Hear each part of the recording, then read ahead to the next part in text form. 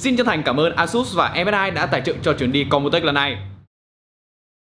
Xin chào tất cả các bạn, hiện tại thì mình à, vẫn đang đứng tại gian hàng của Asus ROG và ngay phía sau lưng mình đây Các bạn có nhìn thấy điều gì đặc biệt không?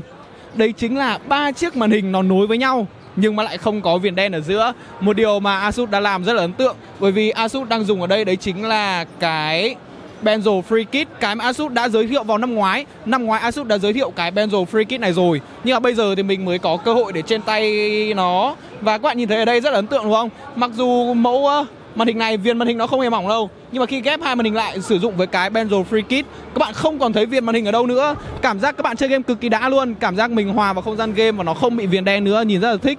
Nhưng mà mình nghĩ nếu mà các bạn chơi game thì dùng cái này sẽ khá là thích. Nhưng mà nếu các bạn làm tác vụ đồ họa dùng bình thường ấy dùng cái này mình nghĩ là không thích lắm bởi vì nó sẽ làm biến dạng cái hình ảnh của các bạn đi một chút.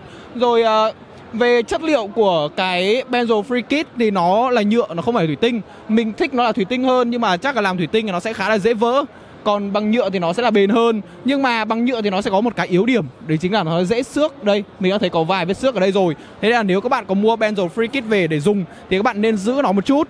Rồi Asus còn khoe ở đây, đấy chính là, đây chính là cái cúp Best Choice Edwards của Asus. Đấy chính là nó sẽ được là Benzo Free Kit, đấy chính là một sản phẩm Best Choice, có nghĩa là rất là đáng để các bạn lựa chọn và mình thấy nó cũng rất là hay thôi. Bởi vì với Benzo Free Kit nó sẽ nối được hai màn hình, nó sẽ bỏ viền đen đi. Các bạn sẽ có thể nối được theo như mình nhìn cái độ dày của cái benzo này, thì các bạn có thể nối được hai cái màn hình viền cũng dày tương đối đấy.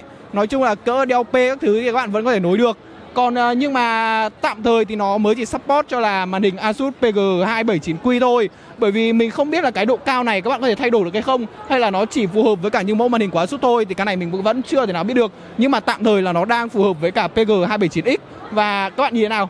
rất là đã đúng không? Mình cảm giác đấy chính là mình hòa vào không gian game luôn. Nãy giờ mình ngồi trải nghiệm mình cảm giác mình cảm giác nó rất là thích. Và còn về chất lượng hoàn thiện thì mình chưa đánh giá cái này cao lắm bởi vì nó vẫn là nhựa và nó dễ xước lắm còn nếu mà Asus mà thay bằng thủy tinh thì khả năng là độ bền nó sẽ giảm.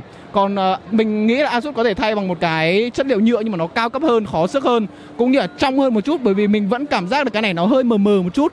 Thì uh, mình vẫn chưa thích lắm ở điểm đấy. Còn uh, lại thì uh, việc nối được như thế này là đã quá thành công đối với Asus rồi mà chưa bất kỳ một hãng nào có thể làm được.